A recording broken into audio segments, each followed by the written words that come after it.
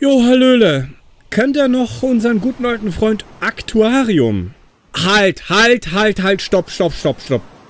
Bitte, bevor ihr euch jetzt überlegt, aus dem Fenster zu springen oder euch eine Kugel durch den Kopf zu jagen, nein, es geht heute nicht darum, dass Aktuarium mal wieder Reise nach Jerusalem spielt. Es geht nicht um Islam-Apologetik und es geht auch nicht darum, dass er mal wieder Putin-Apologetik betreibt. Nee, ich mache dieses Video diesmal aus einem ganz anderen Grund. Aktuarium hat nämlich ein Video zum sogenannten Stolzmonat von Schlomo gemacht und zum Thema Patriotismus. Und zu diesem Thema, zum Thema Patriotismus, hat Aktuarium einige sehr, sehr vernünftige Sachen gesagt.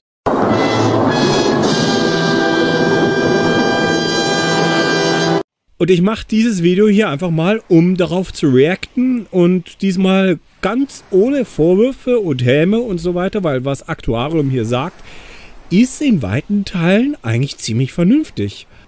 Auf jeden Fall will ich festhalten, dass Aktuarium hier in diesem Video einige ganz vernünftige Sachen gesagt hat und einiges ist wert drüber nachzudenken. Aber am besten lasse ich ihn jetzt einfach mal selber zu Wort kommen. Der Stolzmonat, ein großer Erfolg der Rechten in Social Media. Nicht LGBT Pride Month, sondern der Stolzmonat, wie ihr hier an den Schattierungen der deutschen Flagge seht. Und ich habe einiges dazu zu sagen. Zunächst einmal, was ist das? Begonnen hat das alles mit diesem Tweet hier von dem rechten Influencer Schlomo. Er schreibt, Ende Mai hat er das geschrieben. In einer Woche ist Stolzmonat. Wir könnten uns pünktlich am 1. alle dieses D-Fahnen-Spektrum als Profilbild machen, um die Lippen zu besitzen, wie man so schön sagt. Glaube, wenn die plötzlich nur noch davon umgeben sind, drehen die frei. Sie sehen ungern, wie viele wir sind.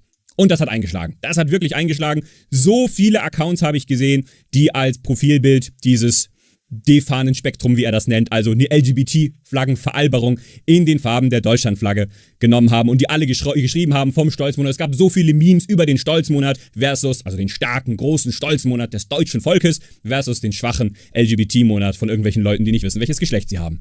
Das war wirklich ein durchschlagender Erfolg, ist sogar bis in den Deutschen Bundestag gedrungen. Der Matthias Helferich von der AfD hat das dort ähm, vom Podium aus gesagt. Helferich, muss man dazu sagen, ist so weit rechts, dass sogar die AfD, obwohl er in ihrer Partei ist, äh, sie wollen ihn nicht in ihrer Bundestagsfraktion haben. Deswegen ist er fraktionslos. Also es reicht nicht für die AfD-Bundestagsfraktion. Das nur am Rande. Also wirklich große, sehr erfolgreiche Sache. Auch viele von meinen Zuschauern, viele von euch haben da bestimmt mitgemacht. Und ich habe dazu einige Kommentare. Kommentar Nummer eins ich finde das sehr gut, dass es so eine Aktion gibt, die versucht, ein Wort zu kapern, zu besetzen, welches von den LGBT-Leuten propagiert wird, welches von ihnen als versucht wird, als eine neue Kultur, als eine Religion gar, Staatsreligion in Deutschland einzuführen. Und in diesem Fall ist es wenigstens innerhalb der rechten Blase erfolgreich gewesen, von einigen sehr weit rechten den Bundestag geführt und in einigen Mainstream-Medien gab es Erwiderungen und diese typischen Nazi-Artikel darüber. Aber jedenfalls in eigenen Kreisen war es in eigenen Blase ein durchschlagender Erfolg als eine Reaktion. Es war jetzt keine Aktion an sich, aber das war ja auch so geplant, es war eine Veralberung. Aber was ich die ganze Zeit, im ganzen Juni schon gedacht habe, und ich habe bis zum Ende des Junis gewartet, um zu schauen, ob sich das ändert, es ist so ein verschenktes Potenzial gewesen, leider. Es haben so viele mitgemacht, ich gebe zu, der Schlom hat das wahrscheinlich selber gar nicht gedacht, er konnte das nicht wissen, aber da nun so viele mitgemacht haben, hätte man das tatsächlich mit Leben füllen können. Weg von einer reinen Veralberung, hier guck mal, wir zeigen die Flagge, LGBT ist schwach, Stolzmonat ist stark, hin zu etwas, was wirklich Gehalt hat. Erwartest du hier wirklich tiefer gehenden Inhalt als Trollaktion? Natürlich war das in erster Linie eine Trollaktion und, und ich gehe mit dir d'accord, dass es hier eigentlich vieles gäbe, was man mit der Deutschlandflagge machen könnte als Aktion oder ganz einfach im Punkto Patriotismus, das deutlich mehr Gehalt hätte. Zum Stolzmonat selber will ich einfach nur gesagt haben, ich verstehe, warum einige sich dem angeschlossen haben. Ich fühle mich von dieser Regenbogenflagge zwar überhaupt nicht getriggert oder in irgendeiner Weise bedroht und einige Akteure dieses Stolzmonats machen tatsächlich auf mich genau den Eindruck, als ob sie diese Regenbogenflagge als Bedrohung wahrnehmen. Aber es ist schlicht und einfach so, dass die Regenbogenflagge hier einfach bloß als plumpe Werbung für Unternehmen gilt, die hier in Deutschland Gratismut zeigen, indem sie verkünden, guck mal, wir stehen für Diversität, wir stehen für sexuelle Vielfalt was es sich aber dann im Ausland dann mal wieder nicht trauen zu zeigen, weil sie ja durchaus einige Kunden in Regionen der Welt haben, bei denen sexuelle Vielfalt, Homosexuelle und so weiter dann doch eher auf dem Scheiterhaufen landen bzw. gesteinigt werden. Wenn die Allianz Arena in München in den Regenbogenflaggen beleuchtet wird, dann geht mir das schlicht und einfach am Arsch vorbei. Genauso wie es wahrscheinlich den meisten Leuten am Arsch vorbeigeht, weil das Thema sexuelle Vielfalt und Akzeptanz von Homosexuellen hierzulande heute eigentlich gar kein wirkliches Problem mehr ist. Also außer man befindet sich in bestimmten Bubbles und in bestimmten Communities und Parallelgesellschaften. Es ist nicht besonders mutig, wenn bestimmte Unternehmen jetzt mit der Regenbogenflagge im Logo werben und damit hier etwas zur Schau tragen, was hier in Deutschland sowieso für über 80% der Bevölkerung selbstverständlich ist. Was aber in der Politik und in den Medien viele nicht davon abhält, solchen Gratismut zu feiern.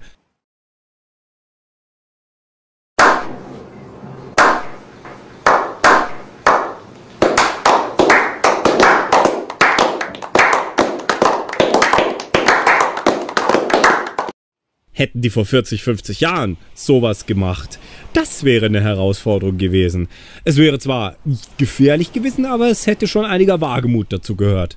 Dass diese Pride-Flagge dann im Ausland für den ausländischen Markt von diesen Firmen dann nicht geführt hat, das entlarvt halt da die Marketingstrategie dahinter. Und dass es ihnen halt doch nicht um die Sache geht. How dare you? Ich verstehe, dass man von dieser Heuchelei genervt ist, der Stolzmonat als Aktion war mir einfach, selbst wenn man ignoriert, von welchen Personen er initiiert wurde, nämlich von der Bubble um Schlomo, selbst dann war mir die Aktion einfach zu affig und zu plump und zu sehr cringe. Ich habe die ganze Aktion auf Twitter mitverfolgt und wenn allen Ernstes Leute den ganzen Tag nichts Besseres zu tun haben, als sich gegenseitig darin zu bestätigen, wie stolz sie darauf sind, dass sie zufällig Deutsche sind, oder wenn die schwarz-rot-goldenen Flaggen, die gezeigt wurden, dann meistens auch noch sehr verräterisch mit einem preußischen Adler gespickt wurden, was schon eher Auskunft über die Gesinnung derjenigen, die sowas posten, aussagt. Denn in der Vergangenheit war es auch so, dass diejenigen, die gerne die Reichskriegsflagge oder die Preußenflagge hochgehalten haben, seltener dieselben waren, die auch Schwarz-Rot-Gold schätzten. In der Weimarer Republik war es zum Beispiel so, dass zwar Schwarz-Rot-Gold Nationalflagge wurde zum allerersten Mal in der Geschichte, aber die alte Reichsflagge und Reichskriegsflagge durfte zumindest als Zweitflagge benutzt werden, weil sich einige mit Schwarz-Rot-Gold nicht anfreunden konnten. Und das waren ja gerade diejenigen, die in der Denktradition stehen, die auch heute so gerne die Preußenflagge noch schwingen. Nicht, dass Preußen irgendwas mit Nazis zu tun hätte, die Reichskriegsflagge wird halt heute ersatzweise von denen verwendet, die die Republik ablehnen und wieder das Deutsche Reich wieder haben wollen. Eben deshalb und weil ich einige der Personen kenne, die gerne den Preußenadler posten und diesen Verdacht, den ich hier habe, bestätigen, bezweifle ich bei einigen derer, die den Stolzmonat und Schwarz und Gold da hochgehalten haben, ein echtes Dahinterstehen, hinter den Werten, die Schwarz und Gold verkörpert.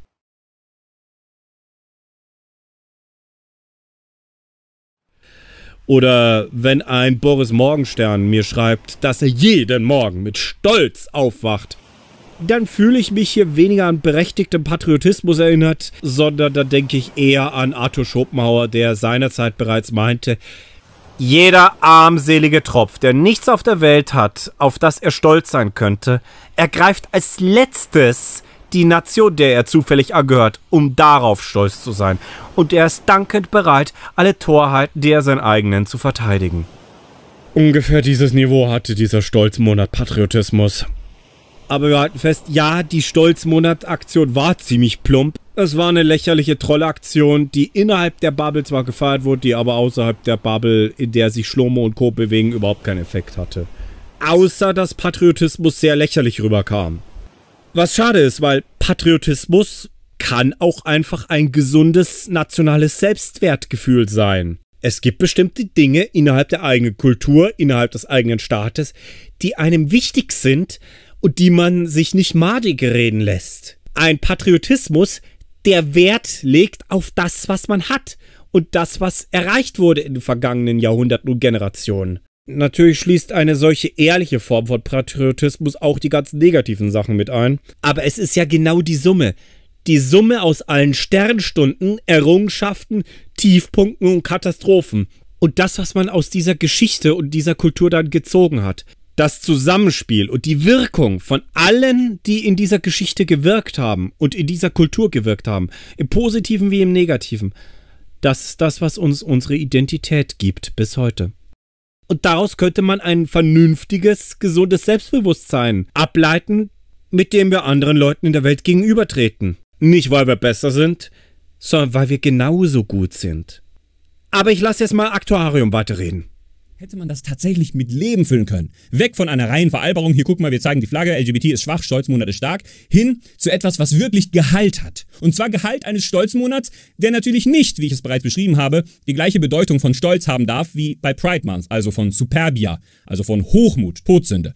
Stolz kann auch eine andere Bedeutung haben als das, was besser als Hochmut übersetzt wird, nämlich die von einer großen Dankbarkeit und Anerkennung für eigene Kultur, eigene Vergangenheit, ohne jedoch in Hochmut gegenüber eigenen anderen Kulturen zu verfallen oder in der schlimmsten Variante sogar zu sagen, dass ich als Individuum besser bin als jemand aus einer anderen Kultur. Das wäre tatsächlich Todsünde.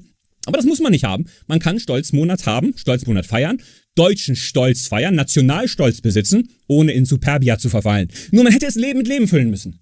Worauf seid ihr denn stolz? Was macht denn den Stolz für uns in Deutschland aus? Auf die deutsche Geschichte, auf die deutsche Kultur? Ist es wirklich nur die Flagge? Sind es ein paar Memes gegen LGBT? Ist das alles, was wir bieten können? Ist das die Ergründung des Deutschseins? Die allermeisten Rechten, und das ist die traurige Wahrheit, wissen doch gar nicht, was Deutsch überhaupt sein soll. Wenn man sie fragt, was ist denn Deutsch für dich? Was ist denn die deutsche Kultur? Was sind denn die Größen und die Säulen der deutschen Geschichte? Dann können sie da gar nicht viel anbieten, denn alles, was sie selbst von ihrem Leben kennen, vom Leben ihres Vaters und Leben ihres Großvaters, ist ja gar nicht deutsch. Die ganze Kultur nach dem Zweiten Weltkrieg, spätestens nach dem Zweiten Weltkrieg, hat mit Deutschland ja gar nichts mehr zu tun. Wir sind unter Besetzung gewesen und wir wurden von amerikanischer Kultur überflutet. An der Stelle will ich mal kurz einhaken, weil, so wie es mir scheint, ist hier gerade mal Aktuarium mal wieder der Anti-Amerikanismus, den er schon in seinen Anti-Israel-Videos pflegt, rausgerutscht. Ja, natürlich hat Deutschland, ja, haben alle westlichen Länder bedingt durch den Kalten Krieg eine gewisse Nähe zu Amerika und zur amerikanischen Kultur, zumindest im Kunstbereich und im politischen Bündnissystem entwickelt. Aber Anglizismen zum Beispiel gibt es nicht nur im Deutschen. Auch in anderen westlichen Ländern haben sich englische Begriffe etabliert. Das ist halt so. Dass wir aber deswegen keine deutsche Kultur mehr gehabt hätten, nur weil wir enger mit den Amerikanern dann zusammengearbeitet haben nach dem Zweiten Weltkrieg das ist schon eine ziemlich steile These. Zumal Deutschland mehrere Sachen gemacht hat in den vergangenen 30 Jahren, die Amerika nicht gefallen haben. Wir haben uns damals geweigert, am Irakkrieg teilzunehmen. Und der Ami wird hier in Deutschland immer noch so als bisschen blöd belächelt. Wir haben durchaus Klischees im Kopf, wenn es um Amerikaner geht. Und ich sag mal, nicht alles unbedingt davon sind ja bloß Klischees. Und wenn wir die Wahl haben, in einem Land wie unserem zu leben oder in Amerika, dann wählen wir dann doch lieber unser Land, weil es hat sich schon längst rumgesprochen, dass zum Beispiel die soziale Versorgung uns nicht so gefallen würde. Es hat sich auch schon längst rumgesprochen, dass die Kriminalitätsrate in den USA viel höher ist. Also die USA sind nicht in allen Punkten Vorbild für uns Aktuarium. Und bloß weil Hollywood-Produktionen nicht nur in Deutschland, sondern in der gesamten westlichen Welt sich großer Beliebtheit erfreuen, ebenso ein ganzes Füllhorn amerikanischer Serien, deswegen haben wir unsere eigene Kultur nicht verlernt oder unsere eigenen kulturellen Eigenschaften aufgegeben. Die USA sind für uns ein wichtiger Partner. Sie haben die Popkultur und gerade die Filmindustrie bei uns sehr stark ergänzt, sag ich mal. Aber es gibt genügend Sachen, wo wir eher die Amerikaner ein bisschen belächeln oder wo wir eher auf sie herabschauen, weil wir der Meinung sind, dass wir sagen haben, die sind bei uns besser. Und soweit ich weiß, wird bei uns im Geschichtsunterricht in der Schule auch eher deutsche Geschichte gelehrt und europäische Geschichte und nicht unbedingt amerikanische Geschichte. Das will ich bloß gesagt haben, weil hier in diesem Kommentar von Aktuarium klang so ein bisschen jetzt gerade sein Mimimimi, der Westen, Mimimi, wir arbeiten mit den Amerikanern zu stark zusammen. Wir waren besetzt, deswegen sind wir jetzt deren Handlanger. Nö, das klang jetzt gerade voll raus. Wem das jetzt zu übertrieben vorkommt, so wie ich das interpretiere, der muss sich einfach hier bloß einfach nochmal seine Videos zu Israel angucken. Dann wird klar, warum ich das so interpretiere. Und man hätte diese Gelegenheit nutzen können. Ein Beispiel. Man hätte zum Beispiel alle auffordern können, nicht nur einfach diese Deutschlandflaggenschattierung zu posten, sondern zu sagen, such dir deinen Lieblingsdeutschen der Geschichte aus, schreib seinen Namen hin, poste sein Bild und sag mal drei Sätze dazu, warum er dein Lieblingsdeutscher, dein Vorbild in irgendeinem Feld ist oder dergleichen. Puh, puh gute Frage. Also, mh, mm, ich habe jetzt hier Schwierigkeiten, jetzt meinen Lieblingsdeutschen rauszufinden, weil da gibt es einfach so viele Persönlichkeiten, die in ganz verschiedenen Bereichen gewirkt haben und hier gibt es einfach nicht einen Nenner, auf den ich sie alle bringen könnte. Ich kann halt jetzt einen Künstler und Schriftsteller nicht mit einem Physiker oder mit einem Politiker vergleichen, Was wäre da jetzt der gemeinsame Nenner, aufgrund derer ich sagen kann, der da ist viel größer und besser als der andere? Deswegen tue ich mir jetzt gerade da schwer, meinen Lieblingsdeutschen hier rauszufinden. Aber ja, da gibt es einige Personen in der deutschen Geschichte, um die, um deren Wirken wir dankbar sein können, an die wir sehr gerne gedenken dürfen und die durchaus auch Weltgeschichte geschrieben haben. Um mal zwei deutsche Personen zumindest zu nennen, die unbestreitbar weltweite Wirkung hatten, Martin Luther und Karl Marx. Bei letzterem mag man vielleicht jetzt nicht so ganz glücklich sein, wie er gewirkt hat, im Nachhinein betrachtet, aber es lässt sich natürlich nicht bestreiten, dass er eine weltweite Wirkung hatte. Marx, der seinerzeit an der Philosophie gerne kritisiert hat, dass sich die Philosophie angeblich zu sehr um sich selber drehe und sich einfach nur um sich selber kümmert im Studium und so weiter, der meinte ja, die Philosophen haben die Welt immer nur verschieden interpretiert. Es kommt aber darauf an, sie zu verändern. Man kann nicht bestreiten, dass ihm das gelungen ist. Fest steht, es fiele mir schwer, jetzt nur eine Person zu nennen, die hier sozusagen mein Lieblingsdeutscher wäre. Deshalb lasse ich das. Ich habe ja auch teilweise Videos über Personen gemacht in der deutschen Geschichte, die einen nennenswerten und berechtigten Platz in der Weltgeschichte haben. Such dir deinen Lieblingsdeutschen der Geschichte aus, schreib seinen Namen hin, poste sein Bild und sag mal drei Sätze dazu, warum er dein Lieblingsdeutscher, dein Vorbild in irgendeinem Feld ist oder dergleichen. Denn Deutschland hat da so viel zu bieten. Tatsächlich zumindest in der Neuzeit, mehr zu bieten als wahrscheinlich die meisten Völker, wenn es um Wissenschaft geht, wenn es um Mathematik, um Physik geht, wenn es um Philosophie geht, wenn es um Literatur geht, literarische Hochkultur geht. Also im Prinzip stimme ich zu. Ich würde jetzt nicht unbedingt sagen, dass wir in den letzten 500 Jahren, in der gesamten Neuzeit schon immer führend waren in diesen Bereichen. Also wir Deutschen, wenn es um Kunst, Kultur und Wissenschaft geht. Denn im 17. und 18. Jahrhundert zum Beispiel war Frankreich ein großer Ideengeber, die Epoche des Barock.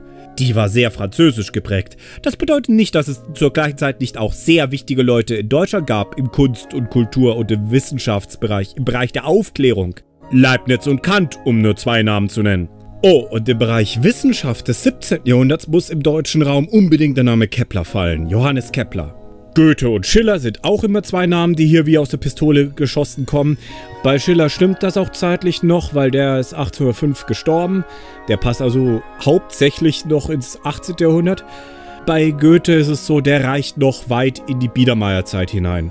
Da sind wir dann, wenn es jetzt nur um die Epoche der Aufklärung geht, zeitlich nicht so ganz richtig bei Goethe. Das heißt, er ist natürlich über 80 geworden, also hat er auch in der Aufklärung gewirkt hat auch aufklärerische Gedanken gepflegt, wie sein Kumpel, sein viel zu früh verstorbener Kumpel Schiller.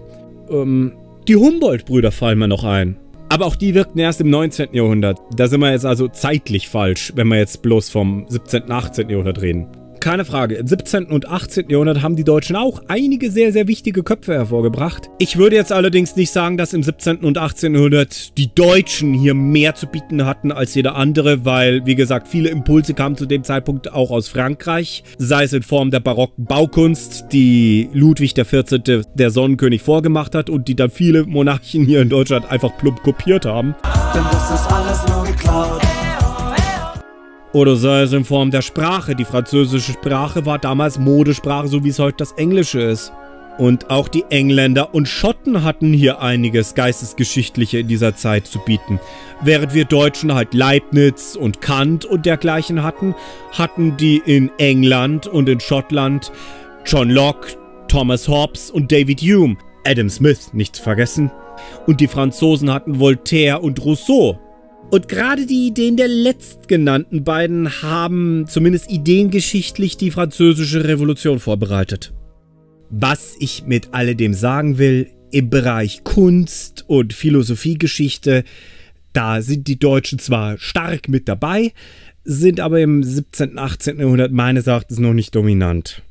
Wenn es um den Bereich der Naturwissenschaften geht, ja, da sehe ich das ganz ähnlich wie Aktuarium, zumindest wenn man es aufs 19. und frühe 20. Jahrhundert bezieht. Hier hat Aktuarium uneingeschränkt recht. Im 19. und im 20. Jahrhundert, zumindest bis 1933, war Deutschland führend. Deutschland war die große Wissenschaftsnation. Zwischen 1901 und 1933, das betone ich immer wieder gerne selber sogar, zwischen 1901 und 1933 gingen ein Drittel aller Nobelpreise an deutsche Forscher. Das war das goldene Zeitalter der Physik und der Chemie. Und die Deutschen waren führend. Warum sich das geändert hat, das muss ich, glaube ich, beim Nennen der Jahreszahl 1933 nicht weiter erwähnen. Was für ein Haufen Scheiße. Vorher muss man aber auch sagen, dass es wichtige Naturwissenschaftler auch in anderen europäischen Ländern gab. Ich sag mal, Charles Darwin war ja auch kein Deutscher, genauso wenig wie Isaac Newton. Trotzdem gebe ich Aktuarium im Groben hier recht. Die Deutschen haben in der jüngeren Geschichte, in der jüngeren Geistesgeschichte, also die letzten drei Jahrhunderte sehr viel im Bereich Naturwissenschaften und Aufklärung beigetragen. Sein Bild und sag mal drei Sätze dazu, warum er dein Lieblingsdeutscher, dein Vorbild in irgendeinem Feld ist oder dergleichen. Denn Deutschland hat da so viel zu bieten. Tatsächlich, zumindest in der Neuzeit, mehr zu bieten als wahrscheinlich die meisten Völker, wenn es um Wissenschaft geht, wenn es um Mathematik, um Physik geht, wenn es um Philosophie geht, wenn es um Literatur geht, literarische Hochkultur geht. Also, ich meine, nur um ein paar Topnamen einfach zu nennen. David Hilbert, Mathematik. Gauss, Mathematik. Einstein. Oder nehmen wir Planck. Oder nehmen wir Heisenberg. Oder wenn ihr, ihr könnt auch früher gehen. Ihr könnt auch solche großen Säulen der Sprache nehmen wie äh, Martin Luther. Oder wenn ihr Künstler sagt, nehmt Albrecht Dürer. Oder nehmt natürlich Goethe Schiller. Es gibt so viele Namen, so viele Größen, die die deutsche Kultur geprägt haben, das Deutschsein mitgeformt haben. Das hätte man posten können. Das hätte man sagen, ich bin stolz auf sowieso, weil sowieso. Und er hat das und das.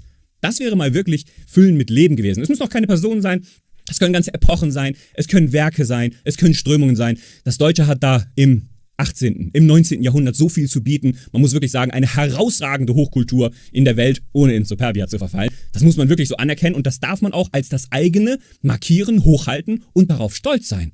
Vorbehaltlose Zustimmung an dieser Stelle. Er hat jetzt selber einige Namen genannt und mir fällt auf, er hat jetzt sogar überwiegend Naturwissenschaftler genannt. Was kein Wunder ist, er hat ja selber vom 19. und vom frühen 20. Jahrhundert gesprochen. Ich meine, er hat jetzt auch Einstein, Planck und Heisenberg erwähnt. Spätestens Heisenberg gehört eindeutig ins 20. Jahrhundert, weil der ist erst 1901 geboren und hat in den 20er Jahren seine Unschärferelation aufgestellt. Er hat jetzt Heisenberg genannt, er hat Planck genannt, Einstein hätte ich jetzt aus Respekt vor Einstein selber nicht genannt, aber er, er, erwähnt ihn ja nicht zu Unrecht. Ja, auch Einstein ist deutscher Herkunft. Da Einstein zum Ende seines Lebens hin nichts mehr mit Deutschland zu tun haben wollte, hätte ich ihn jetzt aus Respekt nicht genannt. Er hat auch jetzt den Mathematiker Gauss genannt. Für die Älteren hier, das ist der Typ, der früher auf dem 10-Markschein verewigt war was den aber wahrscheinlich nur so lange geehrt haben dürfte, wenn er das gewusst hätte, bis er erfahren hätte, dass auf dem 1000 Markschein, also 100 mal so viel wert, zwei Märchenonkel abgebildet waren. This is all wrong. Ich würde an der Stelle auch noch ganz gerne Alfred Wegener hinzufügen, denn dem war es nicht mehr vergönnt, zu Lebzeiten den Erfolg seiner Kontinentaldrifttheorie mitzuerleben. Warum ausgerechnet so viele wichtige Köpfe der Wissenschaft aus Deutschland kamen, da ist die plausibelste Erklärung, die ich dafür je gehört habe, eine aus dem Mund von Christopher Clark, einem aus Australien stammenden Historiker, der sich schwerpunktmäßig für deutsche Geschichte interessiert. Christopher Clark versucht, die große Präsenz deutscher Forscher im 19. und 20. Jahrhundert dadurch zu erklären, dass Deutschland aufgrund seiner jahrhundertelangen Zersplitterung ungewöhnlich viele Universitäten auf dichtem Raum hervorgebracht hat. In Deutschland gibt es zwar keine so große Universität wie Oxford oder Cambridge. Sowas Berühmtes haben wir hier nicht, aber wir haben viele, viele kleinere Universitätsstädte. Bei uns gibt es mehr Hochschulen auf engeren Raum, was halt durch die jahrhundertelange Kleinstaaterei bedingt ist. Und eben weil wir so viele Hochschulen auf engem Raum haben, haben wir in Relation zur Bevölkerungsgruppe eine größere Anzahl bedeutender Wissenschaftler hervorgebracht als zum Beispiel die Briten oder die Franzosen. Das denkt zumindest Christopher Clark und ich finde, an dieser Theorie könnte was dran sein. Klingt irgendwo plausibel. Im Übrigen ist die Erfolgssträhne der Deutschen in Sachen Technologie und Wissenschaft noch nicht vorbei. Nein, Deutschland ist, wie wir alle wissen, immer noch ein Top-Industriestandort und ein Top-Technologieproduzent. Es mag sein, dass deutsche Forscher nicht mehr so omnipräsent sind wie damals Anfang des 20. Jahrhunderts unter den Nobelpreisträgern. Wenn man sich die heutigen Wissenschaftsnobelpreisträger anschaut, dann sind im Bereich Physik und Chemie sehr häufig Amerikaner oder Asiaten, meistens Japaner vertreten. Ist okay, es hat sich halt verlagert. Nichtsdestotrotz, Nichtsdestotrotz wissen wir alle, dass Deutschland ein Top-Technologieexporteur ist. Und das ist Deutschland nur deshalb, weil es immer noch in Sachen Forschung und Wissenschaft sehr weit vorne ist. Das erwähne ich deshalb, weil es fatal wäre, Patriotismus immer bloß auf Leistungen oder Errungenschaften und Gegebenheiten der Vergangenheit zu begründen. Man sollte bei der Wertschätzung der eigenen Kulturleistung auch immer wieder Bezug auf aktuelle Sachen nehmen. Wenn man seinen Patriotismus immer bloß an Dinge, an Leistungen oder Errungenschaften der Vergangenheit festmacht, dann kommt der Patriotismus natürlich museumsreif rüber. Deutsche Philosophen und deutsche Nobelpreisträger der Gegenwart sind zwar vielleicht nicht mehr so gefragt, aber immer noch ist Deutschland wirtschaftlich spitze und immer noch ist Deutschland im Bereich Forschung und Wissenschaft, beziehungsweise in der daraus resultierenden Technologie spitze. Exakt das gleiche lässt sich über die deutsche Wirtschaft insgesamt sagen. Deutschland ist das stärkste Land der EU. Und zusammen mit Frankreich bilden wir den Motor der Europäischen Union. Das kann sich sehen lassen. Die gegenwärtigen Stärken Deutschlands zu betonen gehört auch unbedingt dazu. Sonst wird der Patriotismus zwangsläufig rückwärts gewandt. Aktuarium hat jetzt ja eigentlich, finde ich, ein ideelles Schlusswort schon gesetzt. Hören wir uns deswegen zum Abschluss dieses Videos sein Fazit nochmal an. Es können ganze Epochen sein, es können Werke sein, es können Strömungen sein. Das Deutsche hat da im 18., im 19. Jahrhundert so viel zu bieten. Man muss wirklich sagen, eine herausragende Hochkultur in der Welt, ohne in Superbia zu verfallen. Das muss man wirklich so anerkennen und das darf man auch als das eigene markieren, hochhalten und darauf stolz sein. Aber nicht stolz kann man sein auf einfach nur Schattierung der Flagge und guck mal, LGBT ist doof. Das ist zu wenig, Leute, das ist zu wenig. Wo ist der deutsche Patriotismus? Wo ist der Gehalt des Deutschen? Und das ist nämlich immer die Frage, die, die dann gestellt wird, was ist denn überhaupt eure Leitkultur? Ja, wir haben ein jüdisch-christliches Erbe. Ja, und, und, was soll das jetzt sein? Ja, wir sind für Meinungsfreiheit und für Mohammed-Karikaturen. Ja, Entschuldigung, das ist lächerlich. Das hat mit Deutschland überhaupt nichts zu tun und du weißt gar nicht, was Deutsch ist. Also, man hätte die Gelegenheit nutzen können für alle, vor allem auch für sich selbst, gerade in der rechten Blase, herauszufinden, was ist Deutsch? Was macht denn das Deutsche aus? Warum bin ich denn stolz auf das Deutsche? Und das wäre eine wirklich wunderbare Gelegenheit gewesen. Sie ist ja nicht ganz weg. Nächstes Jahr kann man das ja eventuell nochmal machen.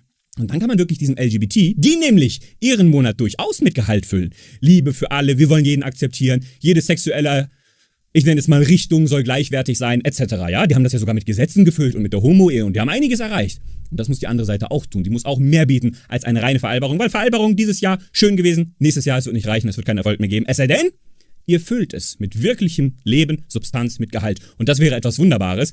Und das würde einen Aufbruch liefern, wie es LGBT nicht kann. Und dann würden sie wirklich überschäumen. So schäumen sie nicht wirklich über, weil ihr habt ja inhaltlich nichts geboten, außer einfach nur Stolzmonat zu rufen.